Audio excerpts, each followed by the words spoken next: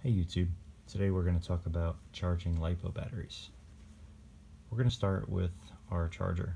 We're going to make sure it's a LiPo rated battery charger. This one's a Tenergy TB6B. I got it on Amazon, I think it was around 20 or $25. The next thing you want to look at is your LiPo battery itself. This one is a China Hobby Line 1500 milliamp battery and it's a 4 cell.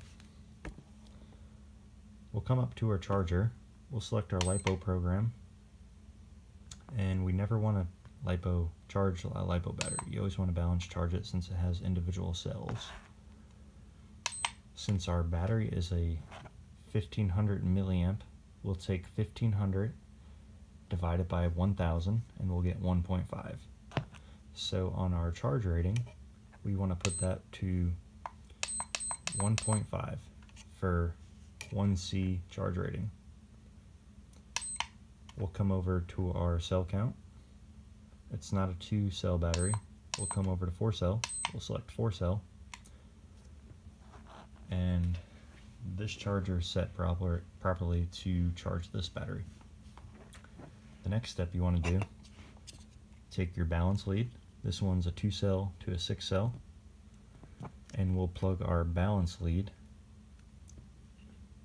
into the 4 cell.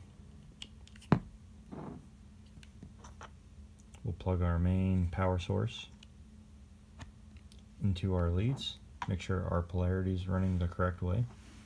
Positive and positive, negative and negative. Come over here, hold the charge button down. It'll check the battery for us. At this time, it's always a good idea to check your battery, make sure you have the correct battery and the correct settings. And you would click enter and it would start to charge your battery.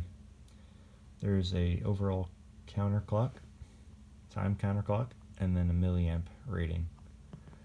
Typically with a nearly dead battery, it takes about an hour to charge a battery at a 1C rating. You do, however, not want to, you never want to charge a battery at a faster rating than it was designed for. So if you have a 1500 milliamp battery, you don't want to charge it at 1.7 or 2 or 3 because you can potentially start a very bad fire and hurt yourself and others. So this battery, you can charge it under 1.5 amps or 1.5 milliamps rating or 1C.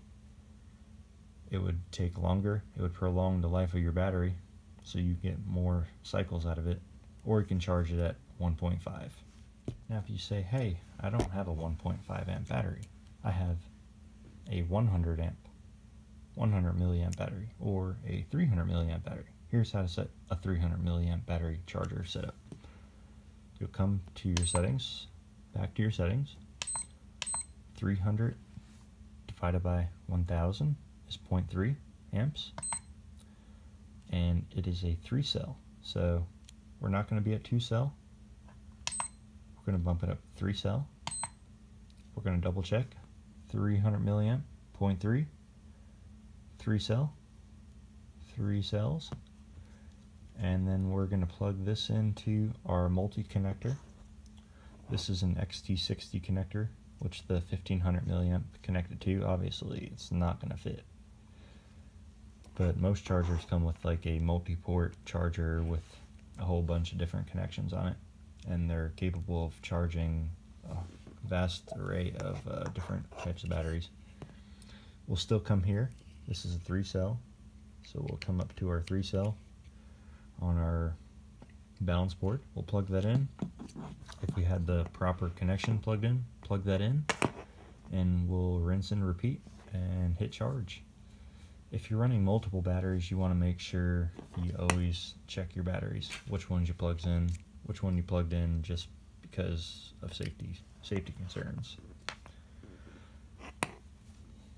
We have multiple batteries here, so I always double check and triple check the different batteries I'm using.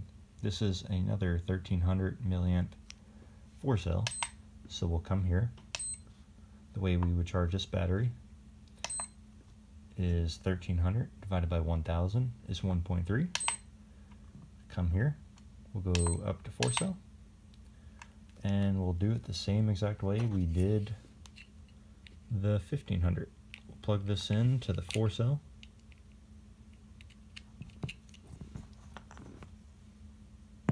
Four cell into the balance board. We'll plug that in. Then we'll hit start. And that's a basic overview of how to charge LiPo batteries.